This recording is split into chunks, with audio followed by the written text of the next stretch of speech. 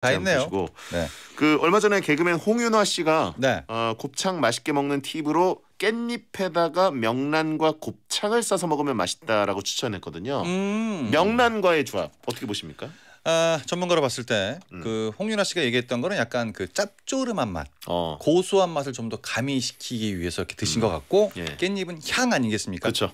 제가 봤을 때 소곱창을 가장 맛있게 먹는 건 소곱창에 부추 한 두 가닥 정도 음. 같이 잡고 위에 청양고추 슬라이스 한 거 있지 음. 않습니까? 어. 그거를 같이 딱 잡고 소금장이든 양념장이든 최대의 곱창 맛을 많이 느낄 수 있도록 음. 딱 찍어 먹는 게 제일 맛있습니다. 어.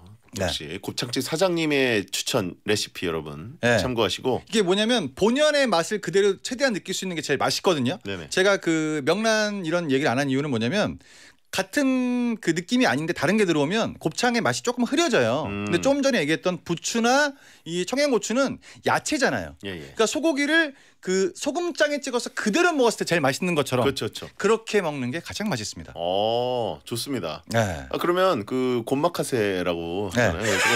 손님들이 오면 이렇게 좀 이렇게 싸서 말아 주세요. 네, 귀찮아요. 왜냐 가끔 뭐 고깃집 사장님들이 이렇게 음. 해서 주실 때 있어요. 네. 시범 보여주듯이 아. 이렇게 이렇게 싸가지고 자, 자 음. 받아 이렇게 네. 해주는데 아, 저 그 얘기하니까 갑자기 그 말이 생각이 났는데 예. 제가 삼합을 먹어본 적이 없거든요. 어, 근데 예전에 한번 어딜 갔는데 음. 비가 내리는 날인데 그 삼합집이 있더라고요. 예, 예. 그 사장님께서 김치에다가 이제 홍어를 같이 말아서 주는데 음.